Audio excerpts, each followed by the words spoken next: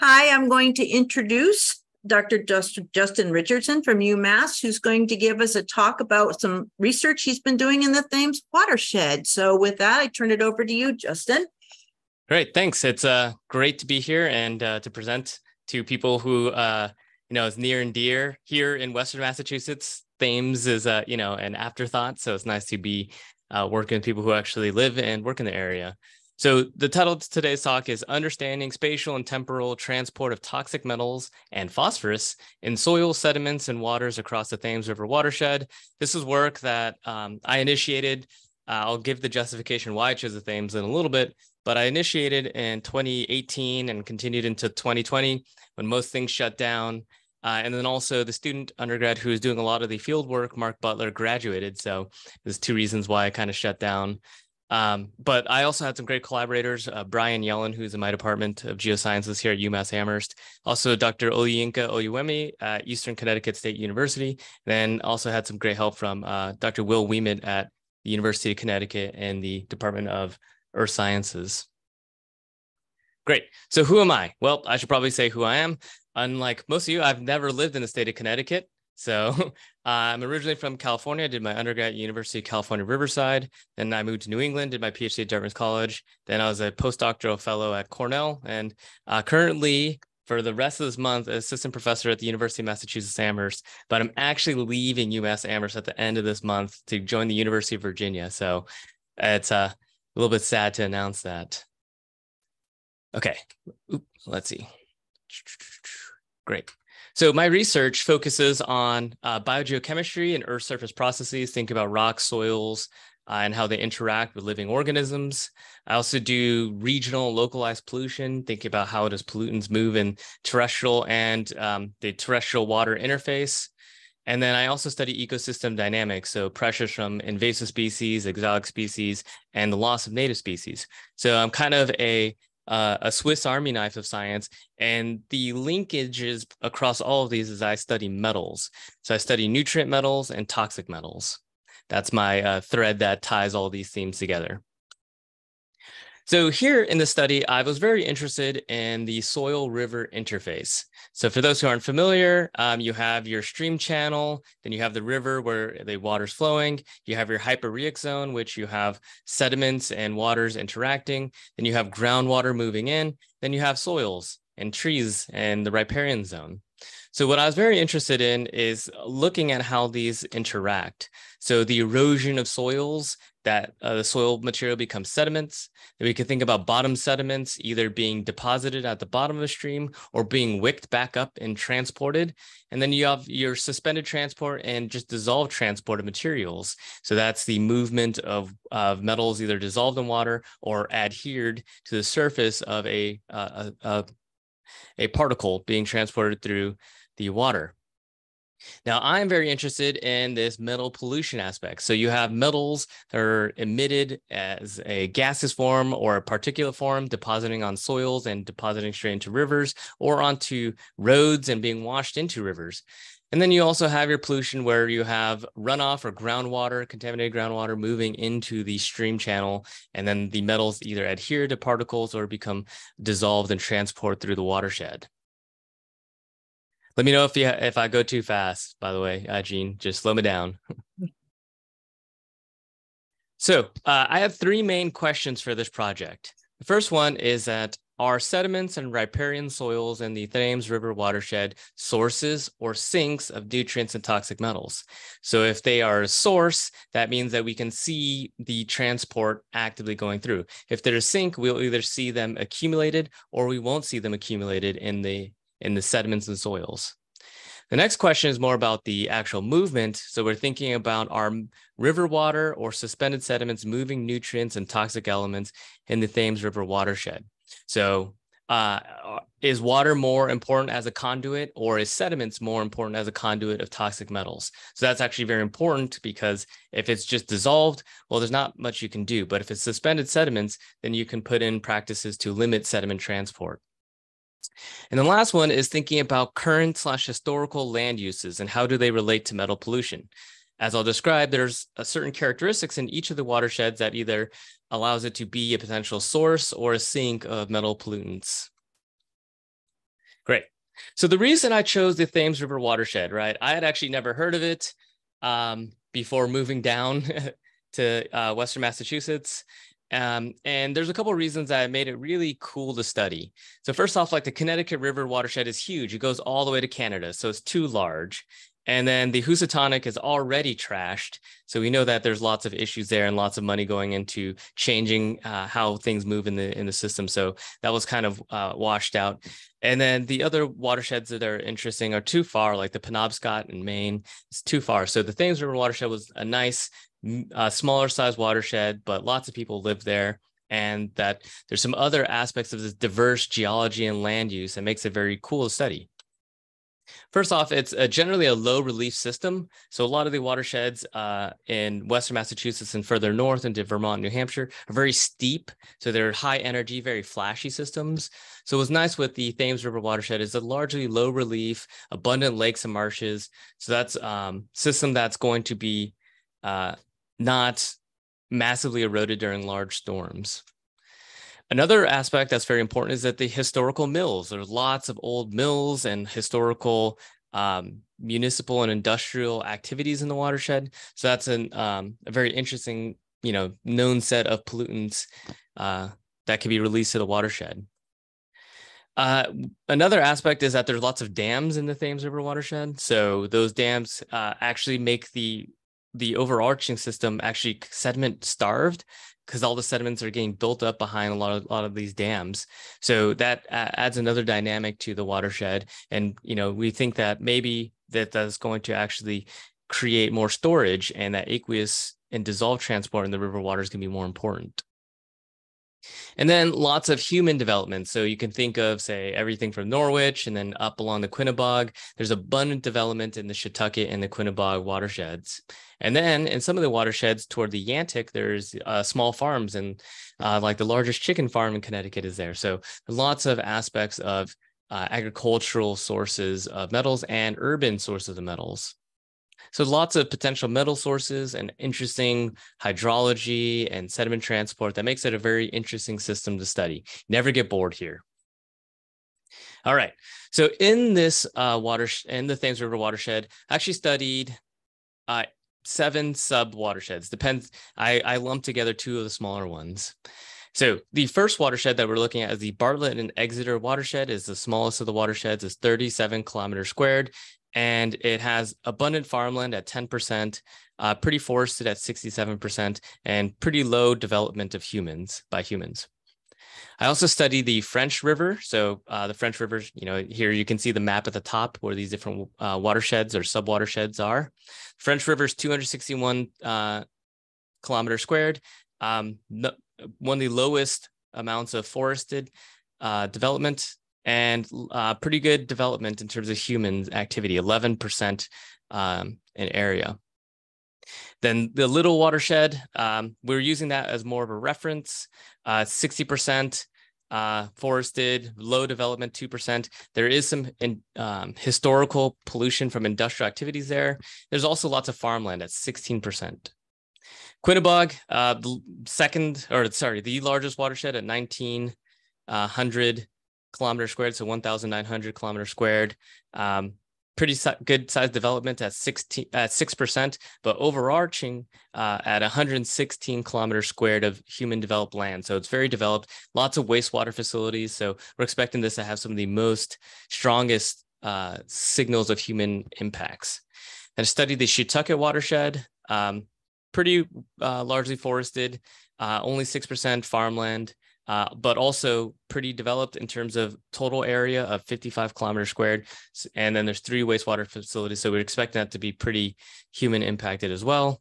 Studied the Still River. The Still River is supposed to be kind of our control system. It's 75% forested, so it has the highest forest amount, lowest farmland, and lowest development. So the Still River was really to be our control, what's going on in this watershed, um, just based upon the rocks very little human impacts. Then we also studied the Yantic River. So the Yantic River uh, subwatershed is 263 kilometers squared, moderately forested, but large farmland at 12%. So the second highest amount of farmland. and moderately developed at 5%, but uh, 14 kilometers squared. So that's what we studied. Uh, and it's important to note that some of these watersheds are, uh, most of these watersheds are, you know, sub-watersheds of A, the Thames River, but they're also sub-watersheds of each other. So the Bartlett and Exeter Brook sits inside the Yantic River. Then the Still River sits inside of the Shetucket River, and then the Little River, French River sit inside the Quinebaug River. So they're nested. And that's unfortunately like how it goes with when you're studying these subwatersheds is that if you want to capture certain areas, you oftentimes have to go to smaller subwatersheds to see like the strong impact of let's say agriculture or um, or forestation. Any questions so far? Okay, uh, either I lost you and you're taking a nap or hopefully it's good. Great. So in this watershed, we collected a couple different types of samples. In the yellow circles are eddy sediment samples. So that's where you know you have a bend or some kind of change in the topography. So then you have um, sediments collecting. These are large pools. So I sampled these eddies uh, bottom sediments in the yellow circles. You can see distributed across um, some of the larger watersheds more effect- effectively than say the smaller watersheds. Um, then in oh, I don't have the soils. I collected soils as well.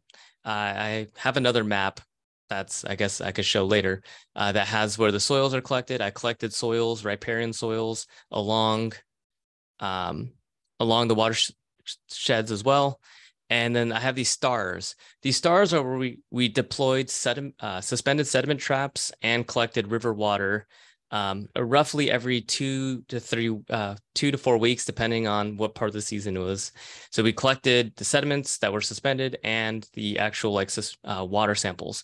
The water samples were filtered, so then we can collect how much are suspended samples uh, in a very quantitative volumetric way. Great. All right, so ah, here it is. Here's where I collected all the riparian soils. So this is the first data set we'll go through. You can see the French river soils are um, situated in the center. That's because lower down, it's either highly developed or um, marshy or um, not very good riparian soils to sample. The Little River we sampled really at the exit. Uh, the Quinebaug, um, mainly in this part and the center. We didn't really sample too much further south. In the Shetucket, we have some upper toward Willimantic. And then we have uh, soils uh, collected at the bottom, Yantic mainly sampled at the bottom, and Bartlett Exeter toward the bottom of the watersheds as well. So what did it look like with sampling? We collected using augers. Uh, oftentimes we can go by road, but sometimes we actually had to take canoes down to be able to collect.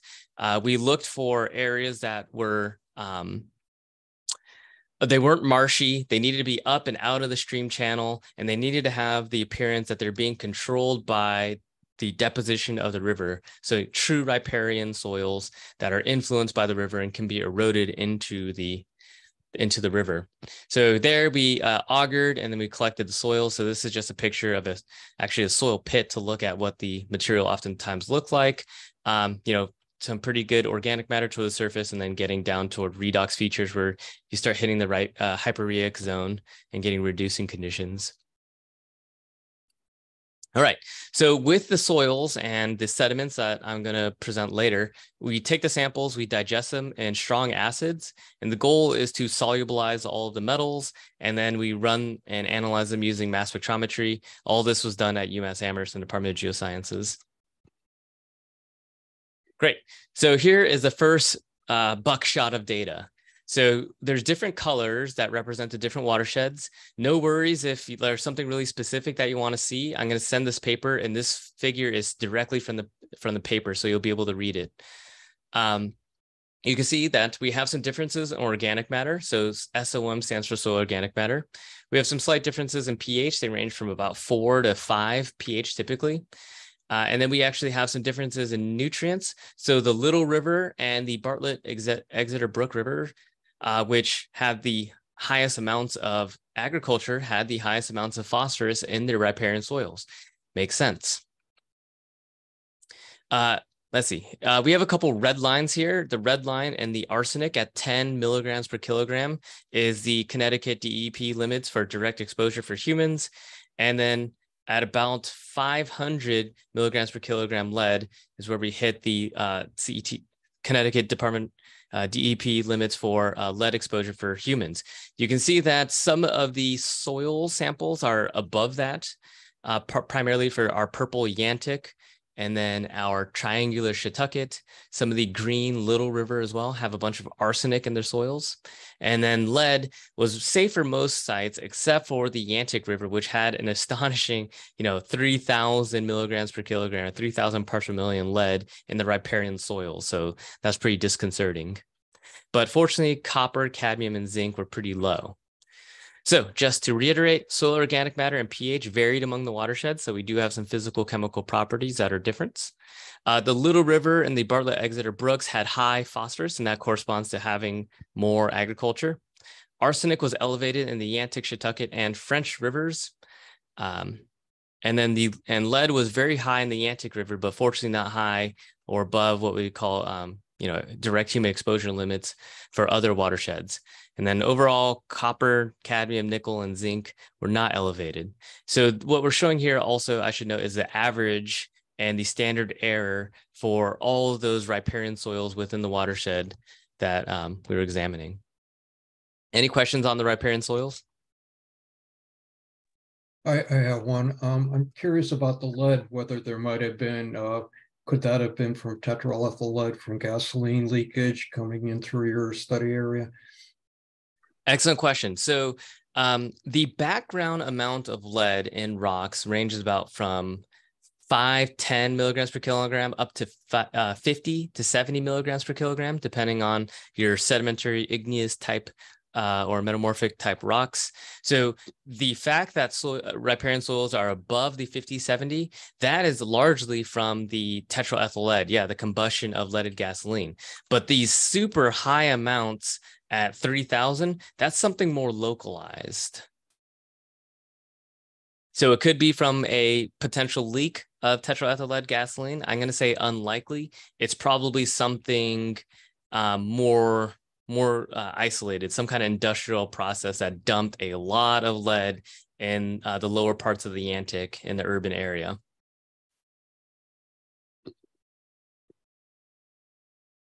Great. All right. So next, we're looking at uh, eddy sampling. So these are bottom sediments. So again, the bottom sediments are in these yellow circles, and then we uh, deployed the suspended sediment collector traps only at um, one location per watershed, and we sampled it through time for um, like nine months of a year. All right. So yeah, the bottom sediments just go, you know, basically going down there and using whatever tools, augers we can to, you know, extract a portion of this like pooled material from the bottom of the river in the river channel. Great. So here is what the averages look like.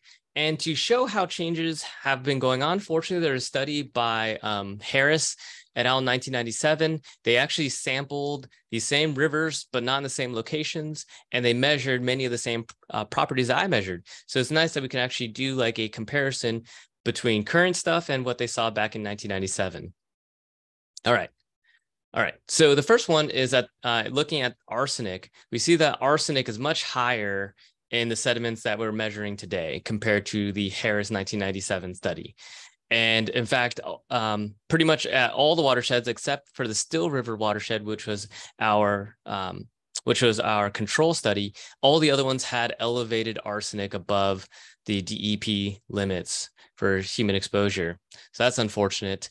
We see that um, Brio, uh, sorry, the Harris study uh, had higher organic matter uh, than our study in the French River, Quinebaug, and Yantic River. Cadmium was much higher in, in their study compared to our study. So that's good. That means cadmium is decreasing through time.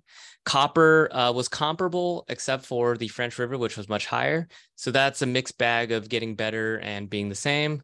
Lead was higher in the French River and in the Quinebaug River compared to um, now. So that's good. That means that lead is decreasing in concentrations in these bottom sediments, except for the Yantic River, which was higher still. So that's um, you know, not good. Uh, but fortunately, copper and uh, lead and cadmium were all below concentrations that are known to be hazardous to humans. Now, the issue is that copper can be elevated in bottom sediments and river water uh, and affect more sensitive species like crustaceans. And that's not reflected in this red line. So that's something important to note. Uh, phosphorus wasn't measured by the Harris study, so we can't tell if it's higher or lower. Uh, if you read my study, we compare the bottom sediments and sediment transport of phosphorus uh, to other previous studies, and it's right in the middle. It's not super high and it's not super low compared to other watersheds that have been studied. Uh, nickel has decreased in the French River and Quinebaug River compared to 1997, so that's good. But um, uh, unfortunately, the Yantic River still has high nickel. In fact, the, the nickel is higher than uh, limits for human exposure at about 75 milligrams per kilogram. So that's not good.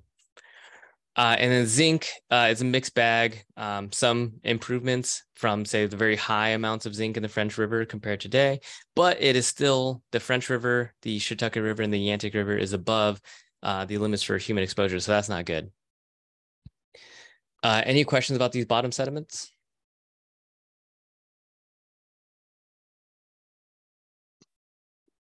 This is all very fascinating. Great. I hope fascinating in a way that there's some positive light and not all doom and gloom. Okay, so suspended sampling, what we did was we basically took two two liter bottles. We drilled some holes for inflow outflow into these uh, polyethylene bottles. We use a ballast and they were suspended from either a rope from a tree or from um, like a wood, a piece of wood uh, drilled to a tree. So they need to be held vertically. And they were deployed during the growing season from May to November. That's when um, ice uh, was gone from the rivers and uh, high flow conditions in the early spring settled down so we can deploy them and not lose the traps. And we collected the sediments roughly every two weeks from these different watersheds. And the idea for the suspended sediments is that the bottom sediments are sitting at the bottom. They need a big storm to move, but suspended sediments are moving under these base conditions. All right. So here we're looking at the suspended sediment metal and uh, other property uh, through time across the different watersheds. So um, you can see sediment mass differed across the different rivers for sure. The the Shetucket and the Yantic had the and the Little River had the highest amounts of sediments being moved throughout the watershed. Um, Bartlett, being the smallest watershed, had the smallest amounts of suspended sediments, and where's our in yellow was actually pretty high as well in terms of total sediment mass being collected through time. Organic matter ranged from about 20 to about 50%. So that's pretty high organic matter content. So it's not a lot of what we call silicic sediments. So it's mainly, or there's a good portion that's organic matter, not like um, rocks and, and rock fragments. Uh, in terms of suspended sediments, uh, the Bartlett Exeter Brook had just off the charts in terms of phosphorus, very high at 20 milligrams per kilogram compared to the other watersheds. The Little River also had high amounts of agriculture and also had high amounts of um, uh, particulate or the suspended sediment phosphorus. So that's pretty indicative, again, showing that agriculture is, you know, there's a strong link between agriculture and high phosphorus in the bottom sediments and riparian soils and now the suspended sediments. Arsenic had, was adhered to particles, so we could see pretty high amounts again over the CT uh, Connecticut DEP limits, um, particularly for the French River, the Bartlett Exeter Brook, the Quinebaug River, the Little River, all had arsenic concentrations hovering at or exceeding that CT DEP limit. Copper was good um, in terms of like human health exposure, but the concentrations are still at uh, levels that could potentially affect uh, crustaceans and mollusks. So that's particularly not good. Cadmium was pretty high at, um, in the milligrams per kilogram, but fortunately not at the five milligrams per kilogram. But ideally, you want cadmium to be less than one milligram per kilogram. So that's unfortunate. Um, lead, um, you know, anything below 70 milligrams per kilogram lead uh, is you know pretty much background, but we have several of the watersheds that are elevated in particulates and even reaching that uh, you know direct human exposure limits. So that's our Quinebaug and our Shetucket River, which you know those are large ones that have high amounts of human development, but also the Yantic River as well is pretty pretty elevated. Nickel was good for the most part, suffer in the French River And then uh, zinc was pretty good in terms of like toxicity. Although I would argue anything above 600 milligrams per kilogram, you have to start worrying about um, how plants are going to respond, as zinc can negatively impact plants depending on how much calcium is present in the water. All right. So yeah, most of the subwatersheds had elevated arsenic in the suspended sediments. Suspended sediment lead was high for the Yantic, Quinebaug, and the Shetucket rivers, which are the large, you know, some of the large main feeders of the, the Thames River. Great. All right. So we also did some water sampling where we reached a dipstick and you know collected water um, through time, and these were analyzed again using mass spectrometry to measure at these very low concentrations. Uh, these are going to be in the parts per billion, I believe. All right. So, but before we get to that, it's important to note how did we, you know, how was the water flowing in the 2019 to 2020 year? So, fortunately, the USGS has many of these streams gauged or rivers are gauged where you have constant uh, measure of discharge. So, that's very nice to be able to illustrate what was the hydrologic year looking like. You know, was it a particularly wet year, a particularly dry year? And 2019, if you don't recall, was actually a, a, a, rather dry year. We had a pretty dry summer where even some people's wells were going dry. So, um, you know, our Shetucket and Quinebaug River are the largest. So they have some of the highest discharge rates, ranging from about, I would say about five up to like 110 meters cube per second. You know, and our smaller rivers being the uh, Bartlett Exeter Brook being pretty low and even potentially going dry at parts of the um, hot, dry summer. Uh, and then a Little River, you know, is right in, in between next to the Yantic in terms of flow. So we have this period, you know, period before the leaves come out, you know, we have high flow conditions and then it got hot and dry during that summer. Uh, so then it got pretty, pretty hot, dry conditions. And then with the leaves going out, they're taking up lots of water and using it for evapotranspiration. So we have decreased discharge in the Thames across the Thames River. And then it was very dry in August, September, reaching some of the lowest discharge rates. And then we started getting those big storms in later in the year. And then we have the recovery, especially once you lose the leaves and it gets cold again. Cool. Any questions about the discharge? I'm not a hydrologist, so I can't I can't promise I could do much better of a description. Nope. Just Okay. I just want to mention Little River is a source water river, so they, they're, um, the gauge is below their source water intake, and if it became dry, they would turn off that imp, that that plant and just go to their wells. So that might have influenced some of the flow in Little River. Absolutely. All these flows are um, affected by dams and dam releases and yeah, um, you, any usage and uptake. So yeah, definitely humans leave a strong impact on this. Great. All right. So in the bottom left corner, I have left the discharge so you can um, double check this, like how that corresponds with the concentrations. So here we're looking at DOC, dissolved organic matter. You can see that it ranged from about one, but mainly about two through about six milligrams per liter. Uh, phosphorus was hanging around 0.1 to about, I would say, like five micrograms per liter. And then it decreased once you got into winter, which is a very interesting feature for phosphorus compared to other metals. Arsenic, um, yes, it ranged from 0.1 up to about one. So starting to exceed what we would consider as potentially hazardous for humans.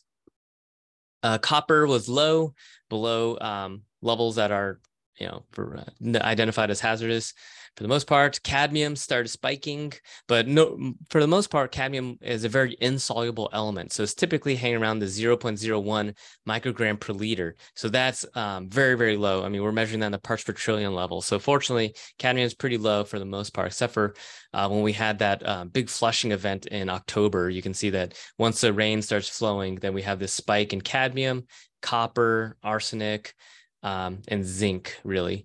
Uh, nickel was not really changing with discharge rate, so what we call isostatic.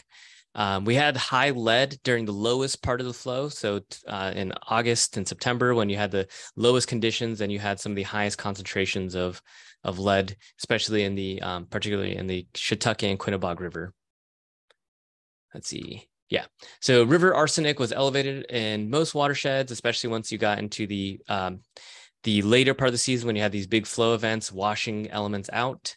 Um, lead was uh, high for the large watersheds and even uh, the, our Still River, which is actually our control river, which is very interesting. The control river hit the one part per billion level or one uh, microgram per liter level. So that's kind of unfortunate when your control river has a spike in metals. Copper was elevated only under our flow conditions, but remained under um, the Connecticut DEP limits. And cadmium, nickel, and zinc were within the safe limits for for humans, but um, and I would argue for wildlife as well. Great. So um, using that data, we can actually start to put together some interesting budgets. So metals can be either adhered to particles or dissolved. And whenever you collect a water sample, um, you're going to get a little bit of particulates. This is a particularly muddy river here shown um, to, just for example, but metals can be uh, dissolved or adhered to particles. And since we measured the um, amount of metals per unit water and we have discharge rates, we can actually estimate how much water is, excuse me, how much metals are being discharged by water. And since we also collected water samples and we filtered out and we know how much sediment is in the water samples, and then we also have our sediment traps and we, we can get a good grasp on what the sediment looks like, we can then also estimate sediment uh, transport of metals. All right, so it's a big, uh, big feature here, but we're looking at in brown total watershed sediment export and then blue total watershed dissolved export. So if the blue line is bigger than the brown line, that means that water is more important for transport. And if it's the opposite, where brown line is bigger than the blue line, that means sediment is very important for the transport of the element or within the watershed.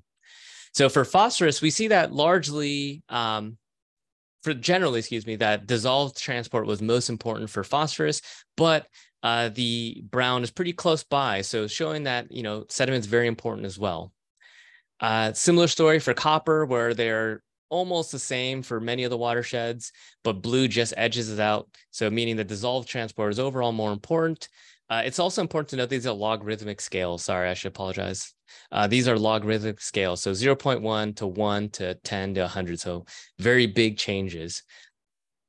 Arsenic dissolved water was most important for most of the watersheds. Nickel dissolved was more, more important for most of the watersheds. Cadmium dissolved was more important as well. Uh, but lead sediment was the sediment transport was most important for um, lead, except for the small Bartlett Exeter Brook. But the French River, Little River, Quinebaug, Shetucket, Yantic, and Still River, that the movement of sediments is how most lead is moving through the uh, Thames River watershed. Great. Now, um, what was really awesome is that I had that all this data set uh, about the dissolved, the riparian soils, and the sus- and suspended sediments and bottom sediments, all worked up for a manuscript. And um, I was I went and gave a talk at UConn and talked to Will Ouimet, and he's like, "Oh, actually, we have some sediment cores that we just collected in the actual estuary of uh, the Thames River, so just past Norwich, but before you get to New London." And it's like, hey, we can actually look at the sediment core and see if we can look at how river water, um, or excuse me, river export has changed through time. So, you know, if you flash back, um, these large industrial areas where were even larger, right? These mills were active at some point, and that the sediment has slowly been moving through the watershed. And what we can do is use a sediment core to actually go back in time. So this is an example of a, a sediment coring uh, instrument. So the NRCS has been doing a bunch of coastal coring. So this is just an example of the USGS doing it. Um, the NRCS, I'm pretty sure, does not have such a fancy boat for it. But the sediment cores are nice records where you can actually go back in time and look how sediments have been transporting. So you can use a bunch of different metrics to identify when time was done. Uh, we're in the middle of getting radiogenic data to uh, really solidify uh, when these events occurred, but we can actually use different elements to time when things are occurring. So here is our sediment core record. You can see from left, we have arsenic, then cadmium, copper, nickel, lead, zinc, and phosphorus. What's nice about lead is that lead gives us a really good estimate about when things were going on. Because um, when the peak of lead use from tetraethyl lead gasoline starts de- diminishing, that's about the successful implementation of the Clean Air Act and Clean Air Act amendments. So that's about the 1980s. And then before the lead use, that's um, you know like 1920s, and then before that uh, is you know early 1900s. So we can actually put some good approximations on when things were occurring. So here in these red lines that go across these bars is about 1980s, the 1900s, then went back to approximately about the 1800s uh, to then show like what was it looking like. So for arsenic, what's important to note here is that arsenic has been always moving through this uh, watershed. Arsenic has never been zero. And we can largely attribute that to the bedrock the there's a lot of sulfide bearing arsenopyrite throughout the watershed. So arsenic has always been moving through this watershed. But more recently, starting in the 1900s, you know, you're using um, arsenic as both a um, uh, a rodenticide or pesticide, and also arsenic use in uh, tanneries. You can see that it increased and has been wavering ever since. Cadmium was being widely emitted during um, industrial activities. It was also part of, um, it was probably in trace amounts of leaded gasoline. Uh, and you can see that once you have the Clean Air Act amendments phasing out, uh, cadmium, zinc, and lead, these are all things that are associated with being with lead. So it's probably part of tetraethyl lead. Uh, those all got phased out all at the same time and also probably phased out of say waste incineration in the area and uh, more stringent uh, regu- regulation on what is in uh, coal, these also contributed to decreases in, in zinc, cadmium, and, and, uh, and lead in the watershed. So you can see that they drop pretty well, right? We're, we're not back down to background, but we have some uh, significantly diminished through time the emissions and transport of cadmium, lead, and zinc in the watershed. Copper actually phased out earlier than the Clean Air Act amendments. So that's probably a decrease in the industrial activities occurring in the watershed. You can see some um, some peaks in the past, but largely we're diminishing back, but we're nowhere near copper background levels. And these are milligrams per kilogram, by the way. Uh, nickel um, has been oscillating. We could see that we're actually not out of peak nickel, but nickel has never been background as uh, very low at zero as well. Nickel is in the bedrock as well. So again, nickel associates with sulfides, sulfide minerals. So nickel um, has been just throughout the watershed through time. What's unfortunate though is that phosphorus has not been decreasing through time. You can see that even with the implementation of clean water acts, that phosphorus is still increasing through time. So that's an unfortunate feature that we're seeing. Now, there's a little bit of argument maybe that there's some bioturbation that might be moving phosphorus toward the top and moving it out through the hyporheic zone, but it's still nowhere near background phosphorus levels, um, even with that biological and diffusion and uh, and advective movements. Cool. Actually, uh, sorry, convective movements. Cool. Any questions about the sediment core? This is like one uh, one of the most interesting things, in my opinion, of the study.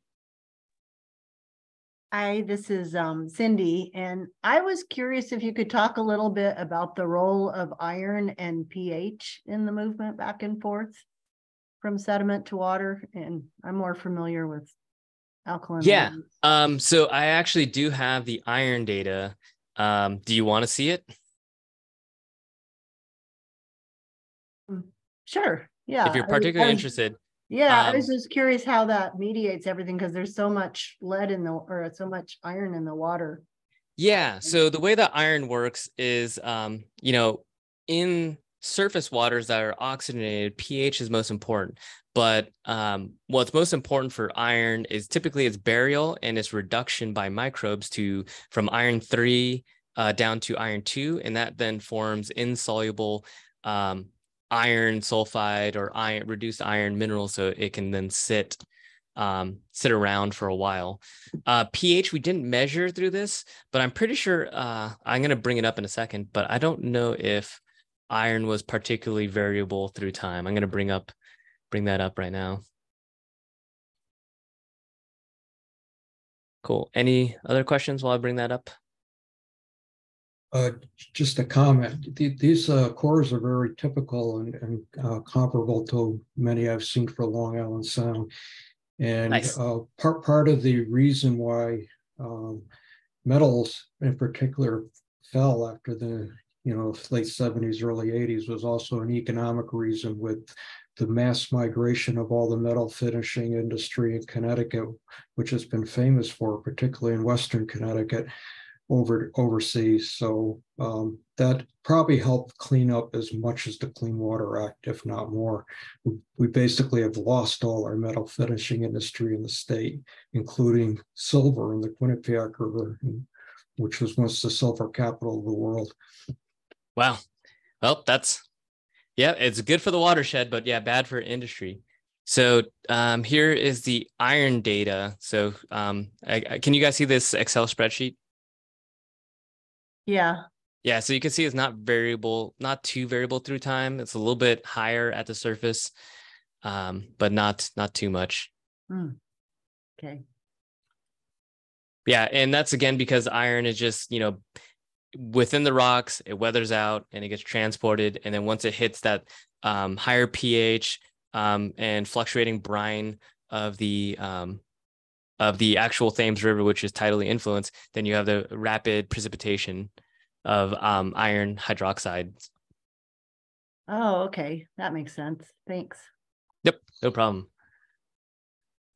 Cool. Um, let's see. And yeah, just to uh, one more thing about the sodium. So yeah, sodium is you know shows that it's pretty strongly um, that there's a lot of tidal influence, and you can see that it peaks toward the surface, and that's really due to that convective movement of water through the sediments and moving it toward the surface. So um, it's not that the Thames is getting br- uh, saltier. At least I don't think it is. Maybe it is with climate change, but it does look like it's increased at the surface, and we could attribute some of that to um, just the upward movement of salt out as it gets compressed. Great. So I guess my last slide is, um, uh, well, last two slides is that um, there are some conclusions we can draw. First off, is that there's elevated arsenic across all the subwatersheds. And like I mentioned, there's some geologic influences, but there's also historical pollution sources, um, particularly in the French River. Lots of arsenic in the in the sediments there, and in the riparian soils, and in some of the uh, agricultural areas of the Yantic River and Bartlett Exeter Brook. Um, there's lots of uh, impacts there from um, potentially either human sources, historical pollution, or uh, geologic sources elevated nickel and lead. Um, they were really isolated in this more industrial area.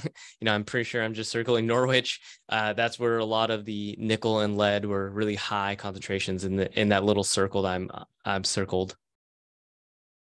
And our sediment core shows that there is actually been much improvement in terms of total metal export out of the Thames River watershed. Um, that's that's good. That means that either it's getting buried and can no longer move, or that there's no new sources. So I would argue that it's positive. But as you can saw, that we're still at hazardous concentrations for both humans and wildlife. So that's something that really should be addressed.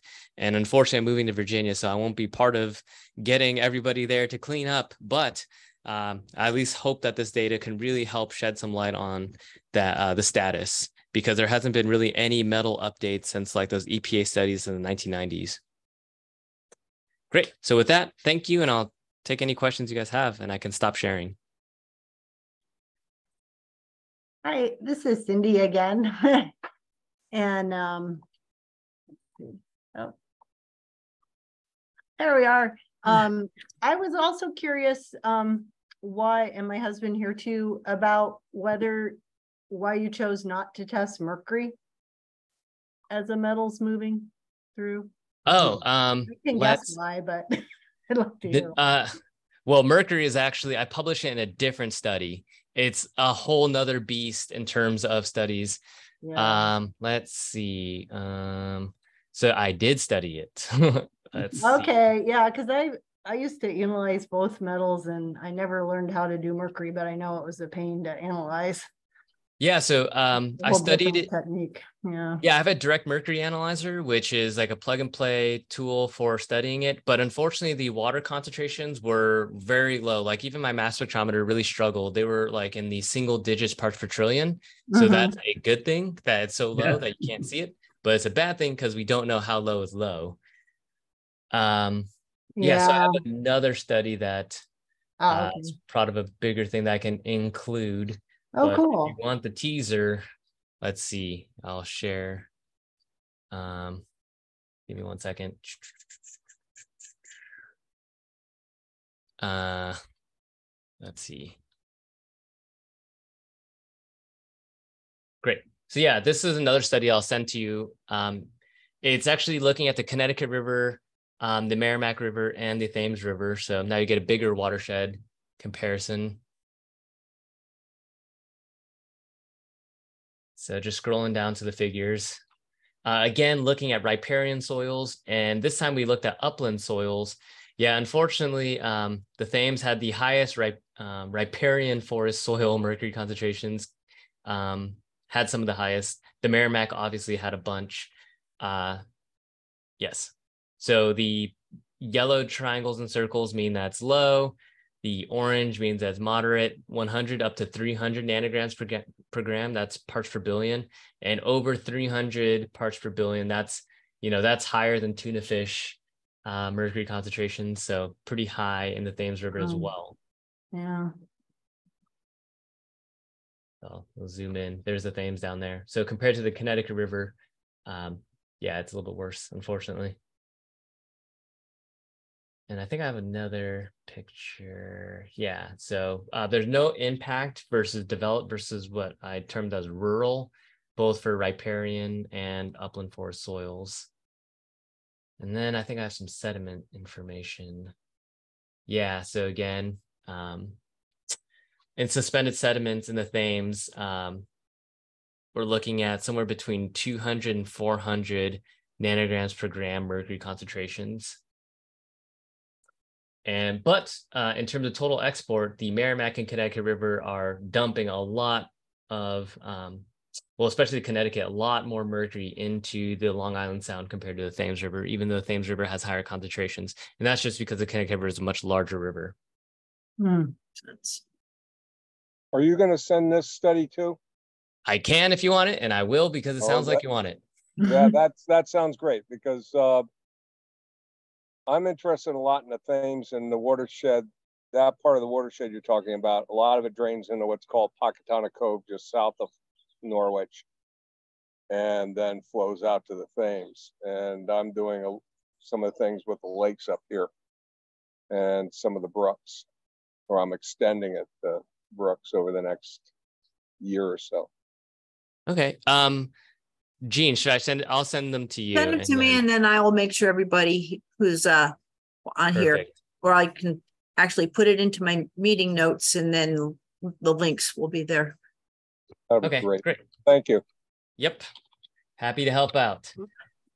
Because you have a lot of industry right down there at the mouth of the Thames too. You know, the sub. Oh, yes. Um. And then there was a lot of, like you showed, concentration up here in Norwich. Poquetanuck Cove dries out, most of it dry, parts of it dry out during the day with the tide, it's still tidal influence. So it'd be interesting to see what's in the uh, mud flats there. With the brooks, a lot of the, br- lot of the brooks in this area just flow into that before it goes out into the Thames. Okay, that makes sense. Do you have any more questions? Thank you very much. This has been a great presentation. So thank you. I think it's been very informative for all, some of us have been uh tracking water quality and other issues in the Thames watershed. So I thank you and uh I'm gonna stop recording.